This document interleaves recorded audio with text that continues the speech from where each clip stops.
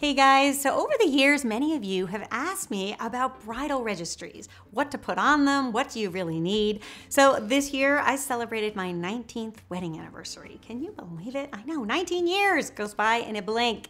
So I wanted to share with you the things that I wish I registered for way back when that I realized I needed after the fact. And I think what ends up happening with bridal registries is a lot of people put the cooking equipment and the baking equipment on it and they forget about the special events. And let me tell you, after you're married, your family starts to call you up and they expect you to host Thanksgiving, Christmas, special dinners, and you need to be ready. So I wanted to share with you today a few things that I think are just great. Okay, first up, stemware. In my opinion, there are three style of glasses that I think you will get the most use out of. Number one, an all-purpose wine glass. So when you're first starting out, you typically don't have a lot of space in the cabinets, and I don't think you need to go out and buy your white wine glasses and your red wine glasses. Unless you're a real wine connoisseur, no one's really gonna care. I really like the style of the Chardonnay glass. I think that works really well for an all-purpose wine glass. I love these glasses by Pure and Simple because not only are they lead-free crystal, which gives them a beautiful weight and delicate touch, but they are also made with titanium for extra strength and durability. So when I was young and we first got married, we moved around a lot and having to pack up those boxes with the glasses, not many of them survived. so if you're moving a lot when you're young, you wanna have wine glasses that aren't gonna break on you or break when you load them in the dishwasher. That was another hard lesson I had to learn. Then next up, the martini glass. Now, in today's world, there might not be many of us drinking martinis, but they're great for specialty cocktails. I think anytime you have a party and you wanna have something festive, you can make a specialty cocktail that everybody can try, and it's great to have the perfect type of glass for this. This glass is called the Madison glass, and it's by a company called Ocean Glass. And I love them because they're the classic martini shape, but they just have a little bit more elegance to them in the stem and the styling of the actual glass. They're also a great size, which makes them perfect for serving desserts in as well.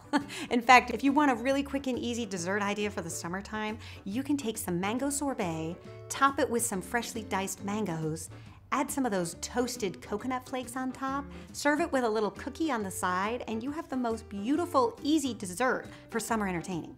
And then the third style of stemware that I love is a classic 1930s style champagne coupe. Not only are they great for serving champagne in, or mimosas for a brunch, but I also love to serve little mousse cups in them or panna cottas.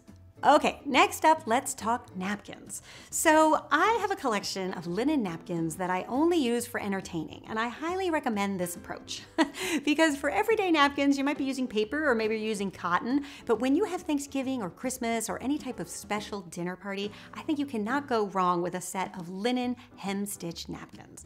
I found the source for these napkins on Amazon a few years ago, and I keep replenishing my stock anytime I have a large party because they're so affordable. For the cost of what one of these napkins usually costs, you can get a whole pack of 12.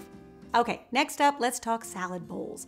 Now, I'm a big fan of 100% real wood salad bowls. They're a little bit pricey, but they're totally worth the investment because they just get better with age. I love this salad bowl because it's 100% cherry wood turned from one piece of solid wood. It's made here in the USA. It's 12 inches in size, which is the perfect size to serve four people. So as your table grows over the years, you can either add to it and have two salad bowls, one for each side of the table, or you can upgrade to a larger one. Now for salad servers, you certainly could do wooden spoons. That's a classic look. But sometimes when I'm entertaining and it's a special occasion, I love to pair really earthy metals with the wood because I think it's a beautiful color combination. I fell in love with these salad servers. They're the shape of coral and they're made from hand cast pewter that has been layered with 24 karat gold and silver.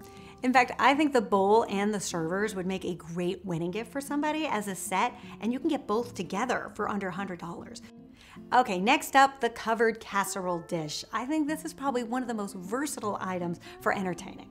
I love this stoneware piece by Le Creuset because it comes with the lid.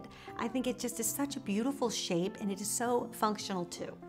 You can make lasagnas in it. You can make egg bakes in it for brunches. You can also do baked French toast dishes, which is great around Christmas time. You'll notice the scalloped edges on the side, which not only are a beautiful detail, but it's really functional too because it helps you carry the dish from the oven to the table.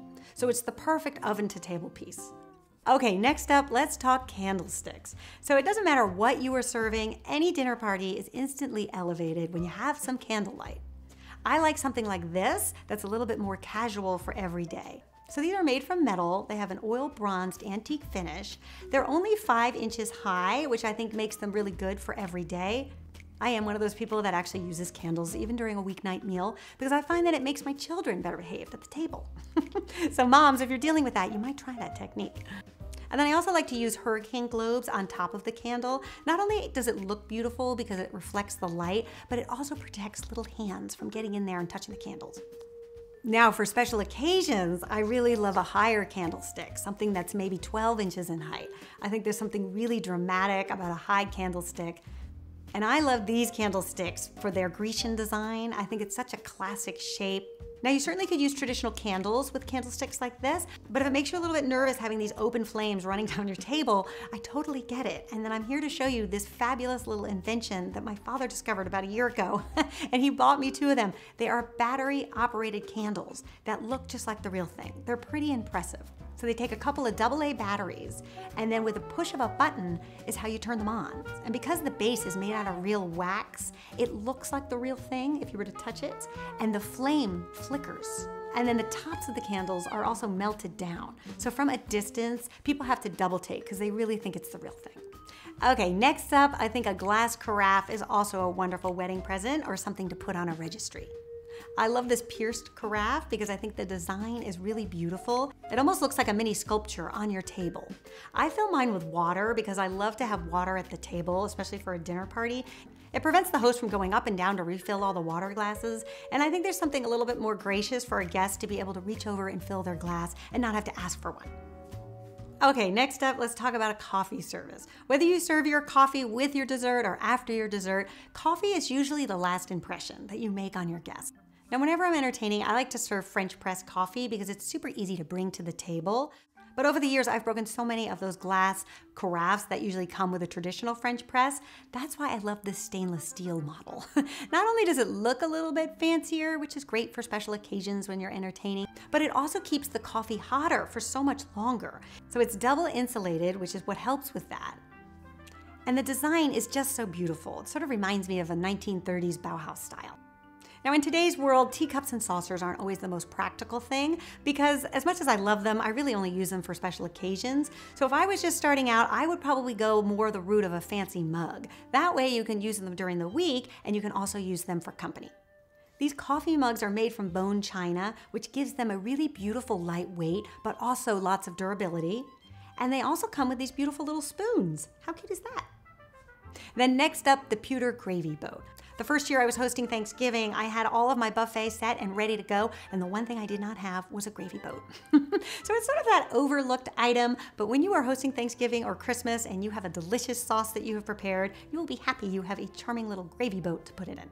I love this little piece. I think it is so charming. It's made from 100% pewter, and I love the back with the grape leaves. I think that's such a beautiful detail.